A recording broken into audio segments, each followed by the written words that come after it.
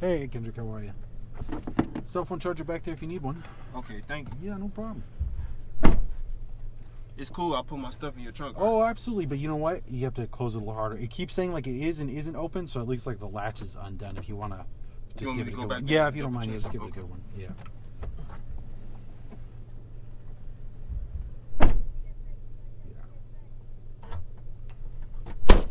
Perfect. Is it closed now? Yep, yep. Thank you.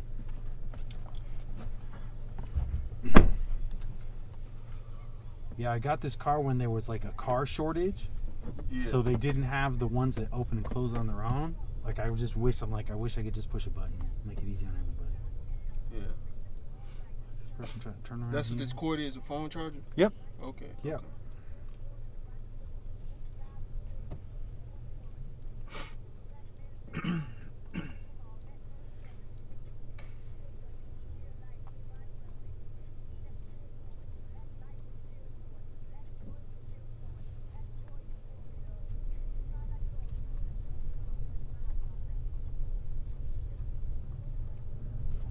How's your night going so far?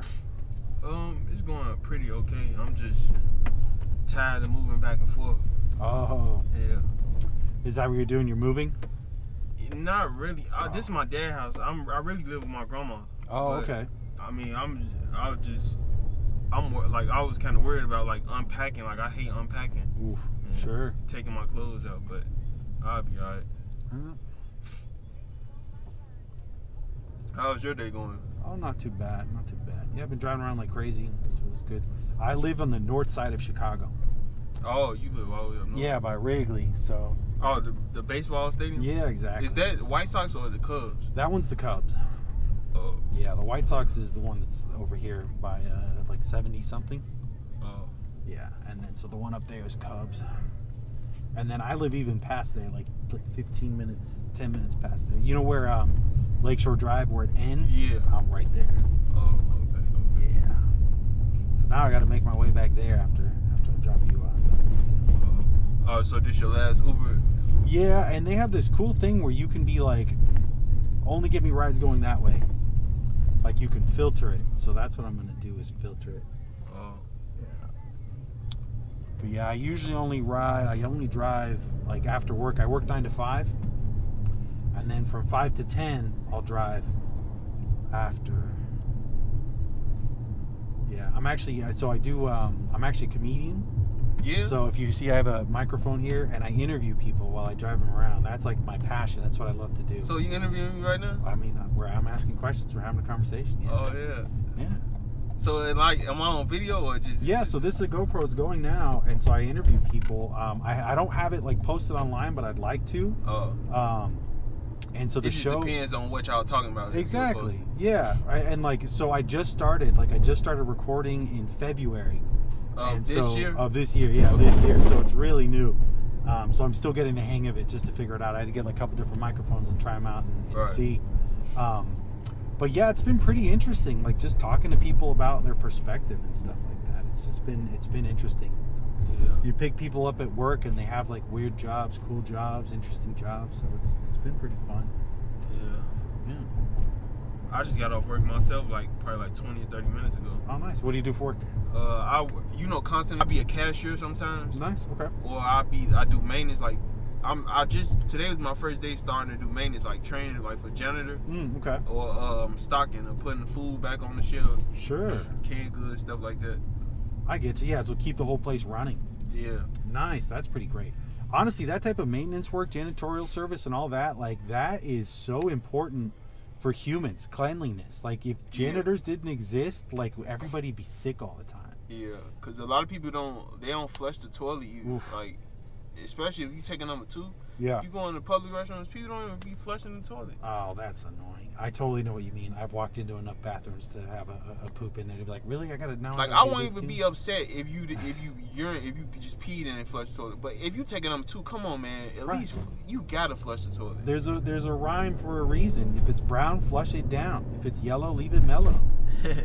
That's the whole reason. You supposed that. to flush it anyway, but at least come on, if you that lazy, at least flush it when you take a number two, man. Exactly. I know some people don't like to touch They don't like to touch the. yeah, they use their feet or something, or Right. they use a piece of tissue or something. Yeah, see, so that's exactly it. Some people don't want to do all that hassle. They're just like, no, I'm just gonna leave it. But no, like you're absolutely right. We should flush. I feel like that's that's the should be the motto for society. You gotta everybody flush your shit. Everybody Yeah, in yeah. life, flush your shit. Yeah. Right? Don't yeah, but I had else. to, I had to um I had to like kind of leave a little early today because I, was feeling lightheaded. Oh man. Yeah, like man, that ain't no good feeling. Yeah, No. like I um like I'm gonna be honest with you, bro. I deal with like depression and anxiety a little bit. Yeah. So that go hand in hand sometimes, and I'm on a once a month shot too. So Okay. I don't know if the shot is wearing off. Sure. Like so, I got a doctor's appointment tomorrow to get the shot, but I don't know. I haven't made my mind up. But I, don't, I might get it, but I don't know if I want to get it because it has side effects. Like when you when you when it's when it's like coming off, lingering Yeah. da- down off you, you will start shaking a little bit. Like, oh man, that's rough. not like I'm cold or nothing, but like, you know when You you, cold, like I just start shaking a little bit. I don't be really shivers. Interesting. Do you do anything else to manage your anxiety? or No, I tr- I need to work out, start working out. Right, that's like part of it. natural stuff. Like, and I, I ain't gonna lie, I don't eat right. I need to. I eat a lot of junk food, Mhm. candy, chocolate, chips, all that. I Oh, need yeah. To, I need to eat right. Right. And that and that really is it. And again, I I have that same issue. I have anxiety, depression, all that stuff, and it really it took me a while to figure out and to dial it in. Honestly, I, I ignored it for the most part. I would just I got really fat. I would just eat a bunch, drink a bunch, smoke it away, drink it away, um, and not think about it. But it, it became where I just said, you know, this is a wheel, right? If I'm Yeah, not if I'm not like high, if I'm not drunk, yeah. So it's like I got to start doing stuff for me because I didn't I just didn't want to feel that way all the time. And Right. so and so that's where I added it. And so for me, yeah, I added exercise. You know, it started easy um, with like really mild stuff. I actually got, you know what I got is, um, and they're not too expensive. They're like about 140 bucks. You can get a sauna where you can like stick your head out and you can sit in it and like watch TV. And it's got like little holes for like a remote control you can read or whatever. So it's something. It's like a blanket or something. You put It's a it's Oh, a box. It's a box you sit in. Oh, Yeah, so it's like a little box you sit in. You can fold it up and put it away if you like have to like share a room or whatever, or share space with people. Um, but what's great about it is, is heat shock protein are antidepressant, and on top of that, it's like it's like exercising without doing anything. You're just sitting there. right. If Just, you're- you just sweating. yeah, yeah. And so if you're watching TV, you might as well be doing getting the sweat on anyways, and it you feel a little better from it. And that was like kind of the start.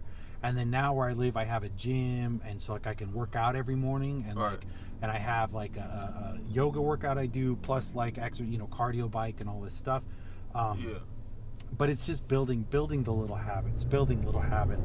Do you do any um, meditating? Have you looked into? Any I used to. I used to try to do it, but I can't do it for too long. I can do it for like five, ten minutes. Sure, sure. And that sometimes that's all you need, really. That's sometimes all you need is the five or ten minutes to start, um, to get the day going, and then add it, you know, a couple of times. That's my like first thing. As soon as I wake up, I get out of bed, I go to the bathroom, and then I do like 10, 10 to twenty minutes of meditating, um, breath work, stuff like that. They've got some really great apps, and those are things that I find really, really great, help. like good apps. Yeah, like they've got a the lot of good apps. Headspace app is one of them. Um, a type of breathing I just started doing that I'm like really, I really love is the Wim Hof method. If you've have you heard of Wim Hof? No. Okay, so he's known as the Iceman. Wim Hof, um, like he can go at like negative 40 degrees in like shorts, and his skin temperature won't change. This is a he lives is a living of a regular human being. He's a regular human being. Wim Hof, they call him the Iceman. He wrote a book about it, and all it is is breath work, breathing work.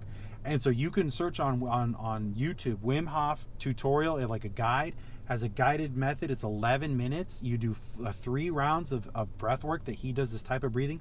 All you do is just take a big breath, let it out. Big breath. You would think it's that's all it is. Big breath, let it out. Yeah. Big breath, let it out. Then when you let it out, you hold your breath 30 seconds, one minute, and then a minute and 30 through, with each round increases. And and what that does is it forces your body to make red blood cells Right. and it uh, hyper oxygenates your brain Right. and you and like i love it it makes me like ready to get out of bed and like to start stuff it used to be a struggle to get out of bed When yeah, when but let me ask you this. I got a question. Sure. So when you like say if I'm just doing regular workouts like running on a treadmill or something or just jogging outside Yeah. somewhere, um like what do you call them?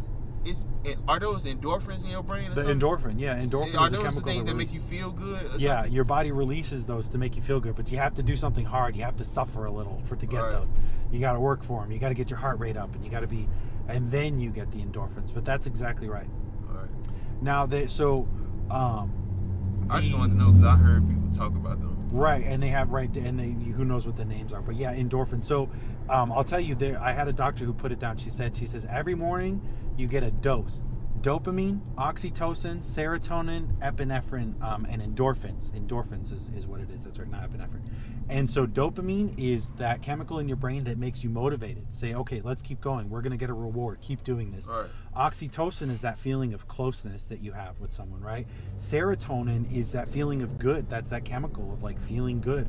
And then um, endorphins are all of those hormones that make you feel good. And epinephrine is adrenaline. And that melatonin feel that helps you sleep, right? Right? Melatonin helps you sleep. If you hang out in the dark, if you just spend time with lights low, your brain will naturally make it. It's, it's I recommend It'll make not you taking- sleepy, basically. Exactly. Like so, like before bed, um, if I'm gonna go, I go to bed at ten. I turn the lights down low uh, at eight o'clock at night, and then I'll chill out, and then I'll get ready to go to bed at ten. So like that's that's kind of the the getting ready for it, and that's part of honestly handling it, depression and anxiety is sleep, making sure that your sleep is routine and regular. They've actually found that like if you got a lot of bright lights on and staring at your screen before bed, Yeah. that will actually lead to depression. Wow. Yeah. So like doing it, say, okay, if you're gonna go to bed at say your your bedtime's twelve o'clock, at ten o'clock, you know, do, you can put your phone to grayscale so that it doesn't have color. Turn the dim, the brightness down so it's not as bright, and then don't turn overhead lights on. If you, you have only do lamps if you're gonna have lights. Candles are a really good one too. I ain't Um, gonna lie. To be honest with you, bro, like I wish I could have like learned all this when I was younger. I'm, I'm Oh, still sure. young. I'm only 20. I'm only 22 years old right now. Sure. But I wish I could have like you know before I started feeling depression and anxiety. I wish I Yeah. could have practiced good habits while I was younger. But Sure. it's Well, still not too late though. Yeah, no, honestly, when I, I started doing this stuff in my 30s, and I said I wish I'd have done this when I was in my 20s. Right. So here you are, it's the same exact thing. So these are the things that are, they're definitely, there's a great, um, if you like podcasts, there's a great guy to listen to called Huberman. Like you talking about them interviews that yeah, the, uh, yeah, he like, just, what, to. exactly, he just talks. All he, it's a lot of science, um, but what he does is he um, takes all those studies and he reads the results and interprets them and explains them and says here's the takeaway so Right. you don't have to read a whole study you don't have to do all this stuff he'll just say here's the things to do uh, and so that's the, the get your sleep in order he has stuff for depression has stuff for anxiety a lot of great tools Yeah. there's a It's lot of great tools right on, on the on, left. the on the left here Yeah. yeah there's a lot of great tools on the internet i definitely definitely recommend there's a car coming so we'll Okay. let them cruise by. Let's see. And then, do they have room? Should.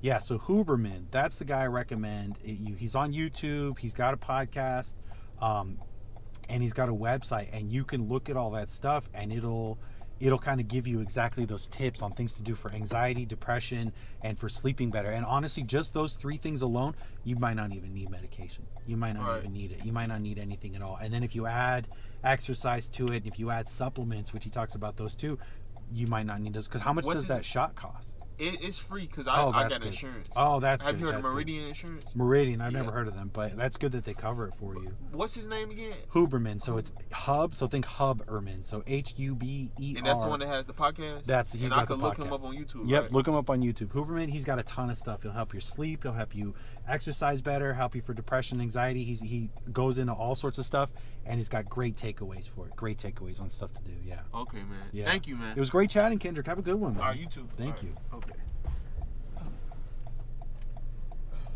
Uh, make sure. Okay. Cool, cool.